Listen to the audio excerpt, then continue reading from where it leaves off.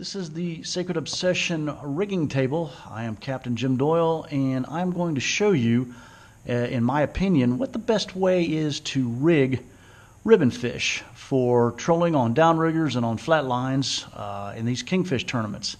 We're uh, pretty much on the back side of the Northeast Florida kingfish tournament schedule, and uh, I've had a couple of friends ask me what my opinion was on uh, on how to rig for them. So I, have got a, a something that we've put together. I say we, uh, that the guys that I fish with, the buddies of mine on our team, and I think the difference more than anything else is when we uh, when we grab a jig or a single hook. What we do is rather than rigging to the top or the eye of the jig or the hook, we'll put a swivel over. And there's three or four different sizes swivels that you can use. We want to make sure that it snaps over the barb so that it doesn't just freely slide off the end of the hook. My theory behind this is, is that when you rig a ribbon fish, if you rig it like this, eventually the pull is going to come off the dorsal fin. And what happens is, uh, that I've seen is you put it behind the boat and you see it start to swim, and then all of a sudden it does a big loop. And just like rigging a ballyhoo or a mullet, if you don't have the weight of the pull on the head of the ribbon fish, it's going to spin. Uh, with a ballyhoo or a mullet, if the weight of the pull is where the hook comes out of the middle of the fish, you'll notice all it does is spin. Cut a line and get the weight off the hook and put it on the head, and all of a sudden it starts to swim real good.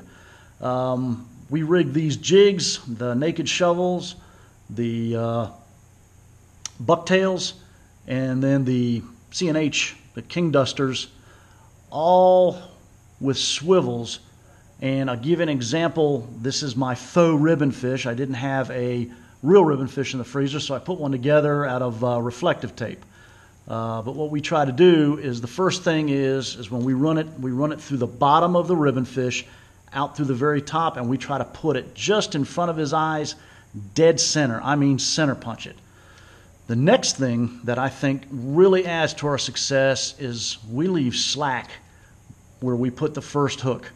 You put enough slack here, and it's almost a guarantee that the weight of the pull is going to be on the nose of the fish.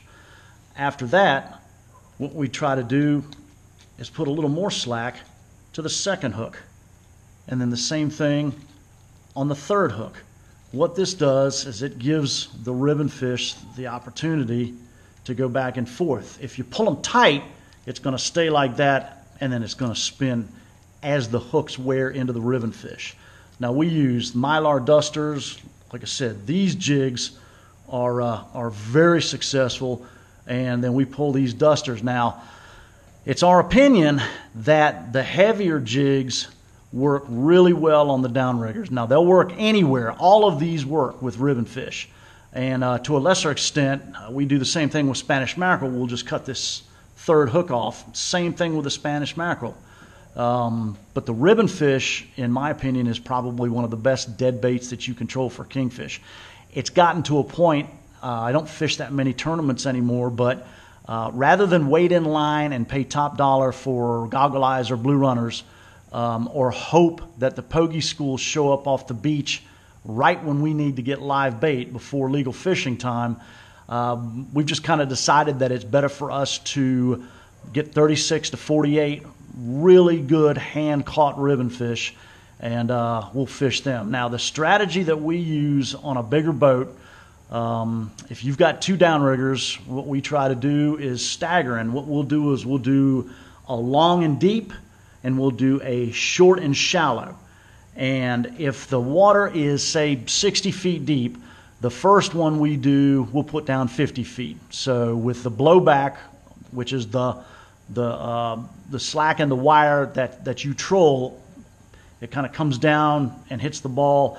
Uh, the blowback puts us about between 40 and 45 feet down. Then we'll drop another one down, say 25 feet. The blowback there puts it at right at 18 to 20 feet. And then you just basically, through the course of the fishing day, you just basically adjust from top to bottom. Um, you know, you can fish them as shallow. We've put them down 10 feet before and caught fish. So um, what you want to do is just make sure every 30 minutes or so you're getting all the water columns because you just never really know where they're going to be hanging out. Now, As far as these big giant kingfish, hot July, middle of the day, um, close to a full moon or a new moon, they're going to be sulking right on the bottom. So what you want to do, uh, this is just kind of something I've learned over the years, is you want to put it down as far as you can go just just before the ball is starting to drag on the bottom, your downrigger ball. So if you're 60 feet deep, we drop it down 55 with the blowback that puts us right above where we think these big kingfish are going to be sitting at. Uh, the second thing is on the small boat guys, 16, 17, 18 footers, um, even if you've just got one downrigger, uh, it's my opinion, if we're 60 feet deep, uh, put it down 30. Drop it down 30, start off trolling there. 25 feet down is probably where your bait's going to be. And um, through the course of the day, you just move the ball up and down. Every 30 minutes, you drop it 10 feet shallower um, or 10 feet deeper and then bring it up 10 feet shallow. It, uh, it, it doesn't make any difference just as long as you're catching all of the water columns. Now, I think the other thing that has led to our success, and this is this is something we found out by accident, but we normally slow troll about one to one and a half knots faster than what you normally would if you're trolling pogies or goggle eyes. Um, and the reason we just kind of came across is my buddy has a 25 foot Parker, twin 150s, all the way back on the throttles, and then one engine moved forward just to where it's engaged. Um, it pulls about that fast. And he didn't want to fool with sea anchors or buckets or anything like that. So we just try, decided to start trolling, and it has worked like magic for us. So uh, hopefully this helps you out. Now we troll ribbon fish is the priority. Spanish mackerel is second. On a Spanish mackerel, you won't get one tenth of the bites you get on ribbon fish, but the ones you get on a Spanish are usually going to be big fish, 20s, uh, 20s and up. Uh, the second thing we've experimented with and done really well is uh, horse ballyhoo. Um, those seem to work really well, um, especially trolling offshore. Um, the last thing that we've done pretty good, and, and, this is especially off the beach or in and around inlets, is big dead mullet. Uh, my buddy will go and uh, fillet the backbone off and then sew it up with dental floss, and that thing just flops back and forth as you're trolling it. And uh, we've done really well with those. But like I said, the priority is ribbon fish. Nothing against gogs or runners. Um, if I can get three dozen of them in the bait well, that's that's just that much better. Uh, the problem is I just don't want to pay 12 bucks a piece for them. I'd rather get, like I said, three to four dozen uh, really good quality ribbon fish. Um, but here's a note to you: if you're going to put three dozen ribbon fish on the boat, you better have three dozen leaders rigged up. And these things take a lot of time to put together, especially if you're going to do them right. But uh, we've caught big kingfish, we've caught big cobia, we've caught giant wahoo, we've caught tarpon, we've caught sharks, we've caught barracuda. Uh, and we actually caught a sailfish about five years ago, all of them on ribbon fish. I don't think there's a fish out there that doesn't like to eat them so. Uh, once again, my disclaimer: I don't, I don't think I'm all that, but I've fished a lot of kingfish tournaments and I've won some money. Um, and I've done it primarily. I say I, my team, the guys that I fish with, my buddies. We've done it all primarily pulling dead ribbon fish. So again, uh, the weights work best on the bottom. These we run off either off the T-top or the outriggers, and we always run a long center. Uh, we'll try to do five rods. Um, two on the downriggers staggered, two off the outriggers or the T-top staggered, and then one a long center. Um, small boat guys, uh, you may not have the room to pull five lines.